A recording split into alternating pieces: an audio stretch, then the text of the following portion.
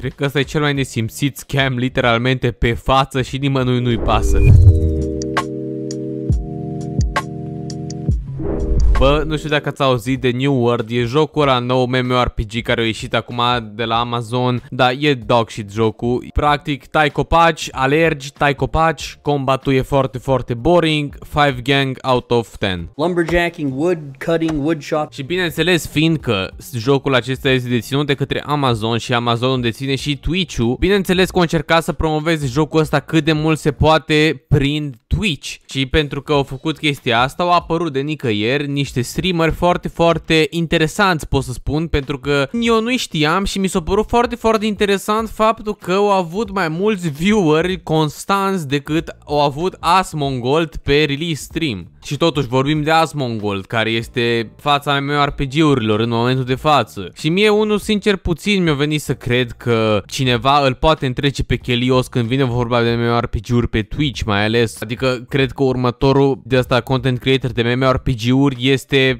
4 ori mai mic decât Chelios. Dar uite că aparent se poate ca cineva să ia fața Cheliosului și omul face live aproape non-stop de când a apărut jocul ăsta New World. Și nu știam eu de ce e așa de popular, adică unde era omul ăsta înainte, pentru că eu sunt un fan al MMORPG-urilor și l-aș fi observat dacă era așa de mare pe cum este acum, adică omul e gigantic, e cel mai vizionat stream de pe Twitch constant, constant. La un moment dat avea și peste 100 de mii de view-uri. Adică mă gândeam, bă frate, ce dracu, chiar așa de bun e omul ăsta la New World sau chiar așa de bun e New World-ul ăsta, jocul ăsta de explodează cariere în felul ăsta, adică 100 de mii de oameni să se uite la streamul tău așa peste noapte. Adică țin minte când era nebunia aia cu Valorant și erau oameni care puneau uh, rewind la tot ce au făcut pe streamul anterior pentru 24 de ore pe zi ca lumea să țină streamul pornit ca să farmeze acces pe Valorant. Adică mai tare înțelegeam treaba aia pentru că efectiv primeai acces să te joci jocul în beta, dar aici primeai niște chestii, niște cosmetice de căcat, atât. Deci nu înțelegeam de ce ar fi bubuit chiar așa de tare, știi? Că bă, dacă era chestia din aia, bă frate, trebuia să farmezi efectiv streamul ca să primești un reward. Mai ziceam, dar nu este și de aia am pus pe gânduri că bă frate, omul ăsta face ceva și după am observat că mulți alți streameri au început să vorbească despre cum omul ăsta face literalmente viewbotting. Bro, I gotta, I gotta show you guys something.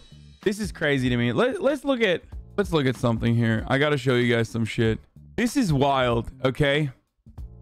I'm sorry, but this is this is legal view botting. That's crazy. The top Twitch channel right now is Fextra Life. Let's look at their fucking chat. 100,000 people in the chat right now. Look at their chat speed. Look at my chat speed. Și cum face omul ăsta viewbotting? Omul ăsta conduce o rețea, frate, nu din aia mafiotă, dar aproape, de wiki-uri. El are 150 de wiki-uri despre jocuri, despre jocuri random, înțelegi? Despre cam majoritatea jocurilor, în mai multe limbi chiar. Deci omul pare să fie foarte investit în comunitatea de gaming și să aibă o reputație destul de bună, având în vedere că au făcut uh, atât de multe pentru comunitate. Dar bă, parcă am chef, frate, să mă joc niște Dark Souls, da? Am chef să mă joc niște Dark Souls pe franceză, omleteu fromaj. Sau am chef să mă joc niște Diablo, frate, pe bune vorbesc. Niște Fallout pe germană. Niște New World, că acum au apărut. Dar poate de chiar am chef, frate, sincer, să mă joc niște Sekiro. Reflect! Reflect!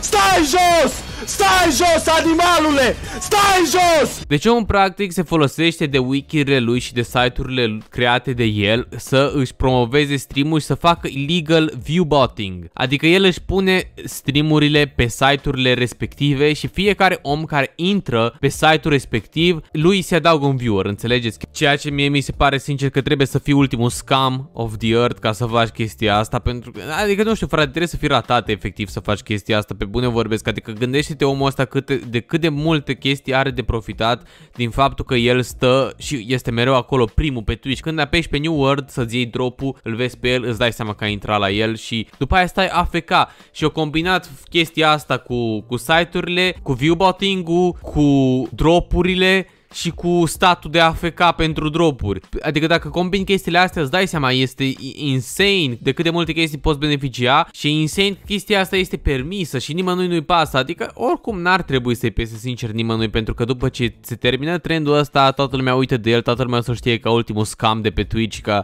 ca ultimul ratat de pe Twitch și nu o să mai intre nimeni să se uite la streamurile lui. Pentru că da mă, chiar dacă site-urile sale lui și are, are tot dreptul să le folosească pentru a-și farma views de pe ele, nu faci mă frate așa ceva pentru că ține de, de respect și de stimă de sine. Și pe lângă chestia asta, e cam ilegal să faci viewbotting, deci nu prea nu prea văd uh, de ce n-ar primi vreo sancțiune pentru că face treaba asta. Adică până la urmă înțeleg de ce unii streamer ar fi mad pe toată nebunia asta pentru că omul efectiv, frate, se folosește de viewbotting ca să ajungă să fie primul în listă pe categoria respectivă sau chiar pe tot Twitch-ul pentru că el a fost și cred că și acum în momentul de față îi primul cu cei mai mulți vieweri. Adică oricum algoritmul Twitch-ului de, de recommended e foarte slab sau inexistent deci, deci cam singura modalitate de a beneficia de creștere organic ar fi de dacă ai apărea sus pe pagina de, de căutare a categoriei respective în care faci stream și lumea ar intra pe streamul tău. Și el practic făcând un cheat code pentru toată treaba asta